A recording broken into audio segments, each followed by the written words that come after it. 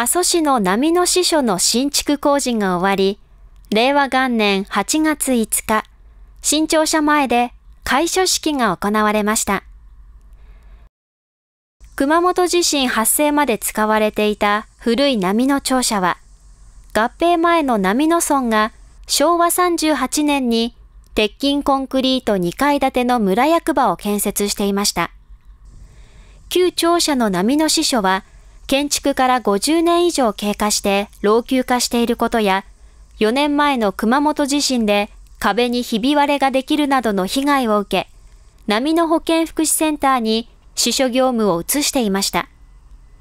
新しい支所庁舎は、波の保健福祉センターに隣接した場所に、総事業費およそ1億9460万円で新築されたものです。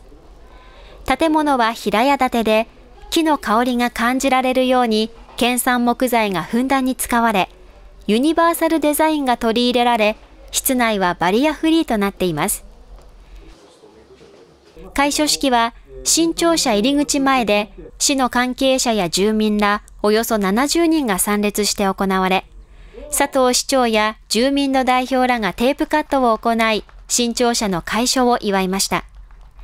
新庁舎での業務が始まると、早速近くの住民が師匠を訪れて書類を提出していました。